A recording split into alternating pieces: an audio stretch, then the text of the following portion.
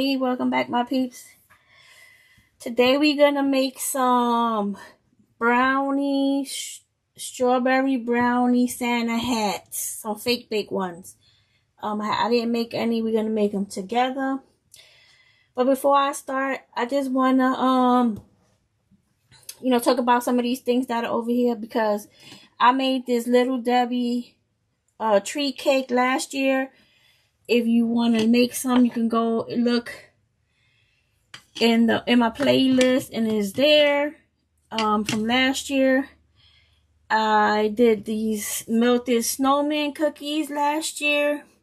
It's also in the playlist. And this cookie tree cake is in the playlist. Um, I made this milk last year also is in the playlist if you want to make the milk. And we made chocolate chip cookies last year too. Was it last year? Yeah, we made some. Um, if you want to uh, look at the tutorials and see how I made those. Now, these cuties over here, I did not make these. These were a gift from Yanita from Designs by Yanita. She made these last year and sent them to me so I can put in my Christmas display. So they're back out this year because I love them so much and they're so, so cute. So we're going to put them back over there where they was hanging out at. And then these are actually Christmas ornaments. One of my subscribers sent this to me. But of course, I can't hang it on a tree because they're just too cute. So I'm going to put them right here is a hot cocoa and a marshmallow. And I'm going to put it right here with my sign, hot cocoa, warm up here. I think I, oop, I got this. This came from Hobby Lobby.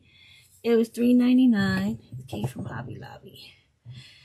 So anyways, if you have any other questions, just leave them in the comment and I'll get back to you. But I just wanted to let you guys know that there's tutorials for all of this out there. So if you want to add these to your Christmas decor, you can start making them now. Okay. So, I already made the base for my brownie because I wanted it to be ready for, you know, us to make right now. So, I made that with a mold. I used this mold. I got this mold. I don't know where I got this mold. But, you see, it's kind of like shaped. Not like a regular cupcake. I mean, it is like a cupcake, but it's a little bit more um narrow as you as you go towards the bottom. So I made it with that. But you don't need to do that. You can make yours by hand.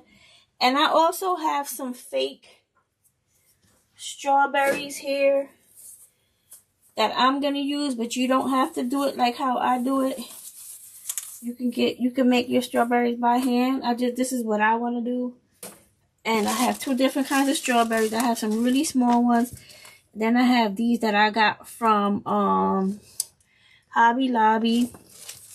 So I might use some of these.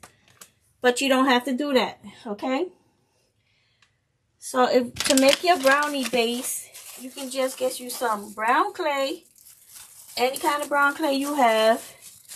I like air dry clay. This one is from Playcode 3. But you know, there's lots of people out there that sell air dry clay now and it's very affordable. I think it's a better deal than um, Model Magic. It's not as dry as Model Magic. Look, you see that? It's not as dry as Model Magic. It dries a little quicker than Model Magic. It gets a skin on it quicker than Model Magic. And, um, what was something else I was going to say? You can find it in so many colors, unlike Model Magic that they have like a certain amount of colors. So anyways, you're going to take, if you want to make yours the same shape as mine, so you're just going to roll it out and then start coming, like putting a little bit pressure at the end. So it gives it more like a cone shape.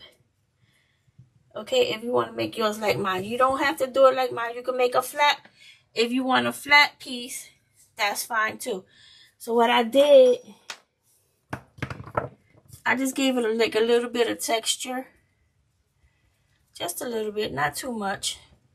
But like I said, if you want to make it like mine, so you're going to roll it into a ball first. And then you're going to take it and start like a little bit of pressure towards the bottom and then you can make it look like more like mine like that okay that's totally up to you you can make your base however you want it whatever makes you most comfortable making okay but that's how you do that. I'm gonna put that to the side. Well let me put some texture. I like using this tool right here. I don't know if you guys can see it but it's like a has like prongs at the end. And I like it to get help me give like my stuff texture. Yes you can use a, a toothbrush but when you put use a toothbrush you're putting pressure on it and it kind of makes it get out of shape but there's nothing wrong with I still use my toothbrush yes I do I'm just saying you see how it's kind of like got out a little bit out of shape so that's why I like this too, because you just stab it up and not much pressure is going into taking it out of shape, okay? All right, so we're going to do that. We got this and we got this. Now, like I said, I have these strawberries and I have some of these strawberries over here. But if you don't have strawberries, you can still do this. Get you some red clay. Get you some red clay. Let's move this up here. All you need is a little piece of red clay, big enough to be a strawberry at the top of your brownie. Make sure you get enough. And you're going to roll into a ball again. And then you're going to try to turn it into like a teardrop. So you're going to roll it a little bit. You're just going to put some pressure on this side just so you can get that teardrop shape. Okay? And then you're going to take it and you're going to twirl it up a little bit so it gets more like a strawberry shape, right? And then you're going to take a tool with a pointy end and you're going to face your strawberry towards you, the top towards you, and you're just going to go in there and put dents in it with your pointy tool, okay?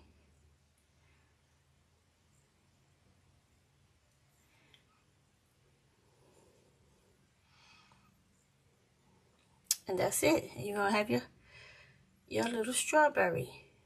Remember, this is fake baking, okay? It's not supposed to look real. We know it's fake, okay? So basically, that's your strawberry, right? You see it? And you're going to take your strawberry and you're going to put it on top of here. I think I want this to be a little bit wider.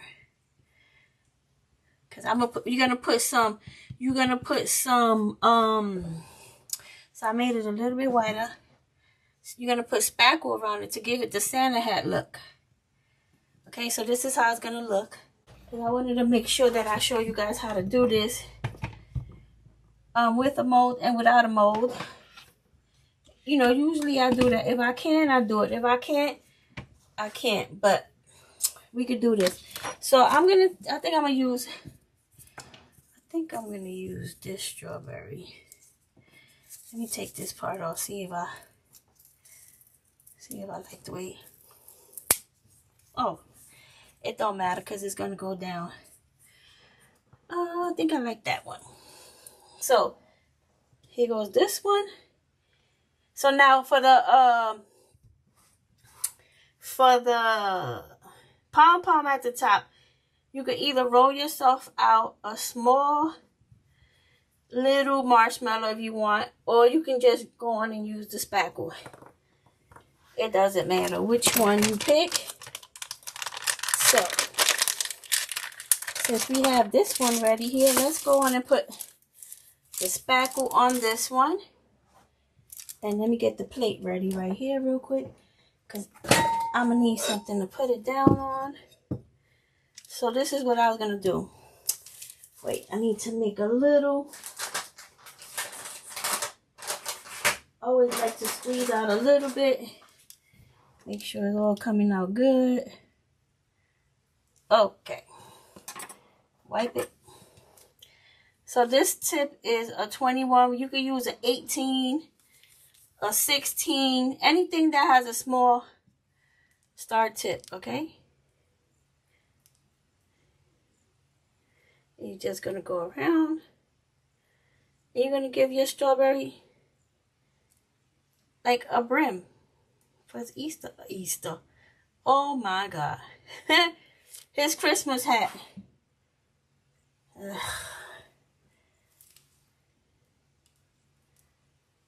And then you can put a little dollop right on the top. And look how cute this is. Look. You got your cute little brownie. Right? That's this one is made if you don't have a mold or anything. You can still make it. It should not stop you from making it. Okay, at all. You don't need a mold. I'm just doing mine because I have the stuff, so I want to do it like that. But you don't have to. Let's see if this glue gun is ready. Yep, it's ready. That's the one thing I like about this glue gun. It gets hot fast. Like my other glue gun, it would take forever and a day to get hot. Alright, so I'm going to stick this right in the middle of my brownie. And I'm gonna uh, glue sticks, glue, I mean glue webs, and I'm going to, see it's stuck on there, and now I'm going to put my spackle on, like I did that one over there. So remember, you get you a tip, a 16, a 18, or this one is 21. As long as there's a small star tip, you should be the only thing I hate is that like when your uh when your um your clay is dry like the spackle don't be wanting to stick to it but if you put pressure on it and you kind of scrape it not too much or you could just put a little bit of glue on it at the bottom too and then I'm going to come to the top and put my little swirl. And look, I don't like that swirl though. It didn't look as cute as the other swirl. All right, let me wipe this off. I didn't like that swirl.